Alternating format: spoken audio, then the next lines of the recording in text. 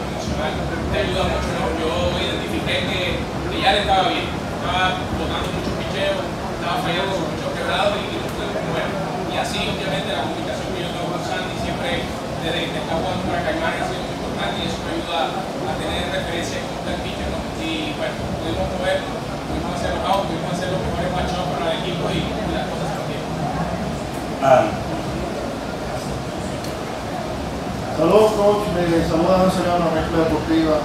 Tomando en cuenta la figura que tiene Venezuela como jugadores de experiencia grande liga, como William Astudillo, Francisco García, Pablo Sandoval, entre otros, la mentalidad suya para los jugadores del equipo previo al partido de. Bueno, para ser honesto, no hice ni un. Realmente creo que hablo mucho individualmente con ellos eh, y eso me da una idea mucho deseo, mucha concentración y sabía que iba a ser un juego cerrado. Obviamente, no solo el roster de Venezuela, el roster de Dominicana, el roster de México, son nombres importantes, pero como dije al principio, si tú te llevas de eso, realmente vas a salir tímido a jugar, tienes que salir a hacer lo tuyo. Eh, nosotros también tenemos grandes ligas que están pasando